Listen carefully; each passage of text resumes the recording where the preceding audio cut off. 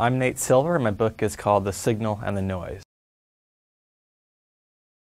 One reason why baseball has made so much progress is because you play 162 games per year in baseball. There's, it's easy to learn from your mistakes. You will make a lot of mistakes when you're trying to evaluate how baseball players do, but it's competitive. You learn from them and you learn quickly because you play games every day. There's a season every year. In politics, if you have a stupidly designed model or a loose assumption or, or kind of a viewpoint of the world that's detached from the reality, you're only going to learn that once every four years at a time, and it takes a long time to, to actually get better.